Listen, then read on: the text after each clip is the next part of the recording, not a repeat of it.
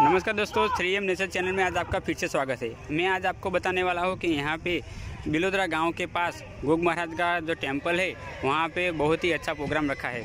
तो इस प्रोग्राम के अंदर घोड़े सवार अपने घोड़े लेकर आए हैं, उनके बारे में बताने वाला हूँ। तो वीडियो पूरा देखें और वीडियो अंत तक देखें। वीडियो को लाइक, शेयर और चैनल को सब्सक्राइब ज़रूर करें। दोस्तों, शुरू करते हैं इस प्रोग्राम का, प्रोग्राम के बाद।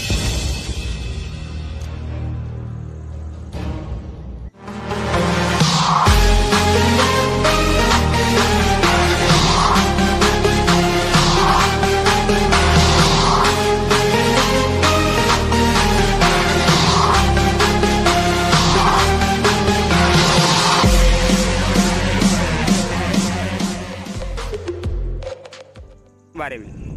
दोस्तों, यहाँ पे बिलोदरा गाँव के अंदर बहुत ही अच्छा प्रोग्राम रखा है। इस प्रोग्राम के अंदर आप देखिए यहाँ पे कई सारी गाड़ियाँ बाइक और ट्रैवल्स लेकर, यानी कि जीप और सब लेकर, छोटा हाथी भी लेकर यहाँ कई लोग आए हैं। छोटे हाथी के अंदर कई सारे लोग अपनी घोड़े होती है घोड़ा घोड़ी उनको लेकर यहाँ पे आते हैं।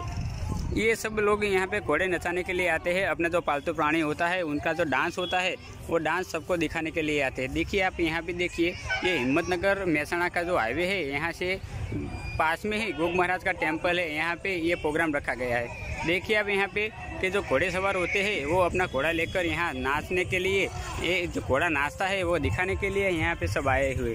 बहुत ही अच्छी बात होती है कि अपने घोड़े का जो डांस होता है, वो सबको, सब लोगों को दिखाते हैं। और लोगों को बड़ा ही मज़ा आता है, लोगों उसके, लोग उनको देखकर तालियाँ बजाते हैं। और कई सारे लोग तो ऐसे होते हैं कि अपने घोड़े के डांस को देखकर कई सारे लोग उनके ऊपर जो होता है वो पैसे भी, बरसात भी कर देते हैं। तो आज इस चैनल पे थ्री एम नेशनल चैनल के ऊपर आप सब लोगों के ये वीडियो में दिखाने वाला हो कि यहाँ सब जो घोड़े आते हैं, वो घोड़े होते हैं, उनका डांस भी मैं आपको इस चैनल पे दिखाने वाला हूँ। तो वीडियो अच्छी लगे तो आप ज़रूर वीडियो को लाइक, शेयर और चैनल को ज़रूर सब्सक्राइब करें और आज के, आपके आसपास में जो घोड़े सवार होते हैं, उनको ये वीडियो ज़रूर तक, ज़रूर भेजिए, जिससे ये लोग भी अपने जो घोड़े होते हैं, जो नाचे थे यहाँ पे बिलोदरा गाँव के अंदर तो वो भी वो अपने जो घोड़े का डांस एक दूसरे को दिखा सकते हैं।